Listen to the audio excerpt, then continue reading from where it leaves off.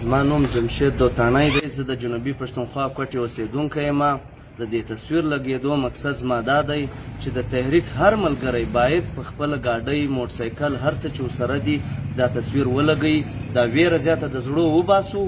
دا تحریک سر چې هر کارکون ولاړ دی د سر په سوداو سر ولاړ دی دا د مظلومانو تحریک دی او دا زموږ قاید دی منظور احمد پشتین و دا ریاست ته به موږ دا وایو چې دا زموږ په زړونو لګېدلی دی دا تصویر په دې رکشا او موټرو په دې لګېدو سره موږ دا ویره ختمول غواړو او زما د ټول ولس دا خواست دی چې باید دا ویره ختم کړئ منظور پښتون سره زه د زړه یو لیونی مینه لرم او پر دې سخت مین یم دا تحریک سره د سر په سودا راوتلي یو انشاءالله تر اخر دمه چې پښتون وطن کې امن نه راځي موږ به د دې سر ولاړ یو او د سر په سودا سر مې کپرې ظالمه دا مې په تندي ولیکه سر مې ځم پرې کولو په دې چې سر یې نه ټیټوو موږ به سر نه ټیټوو په ډاګه به له دې ریاست سره خپل جنګ کوو خپل حقوق به ځینه کړو ټول افغان ولس ته ښه ژوند، اباد اوسئ،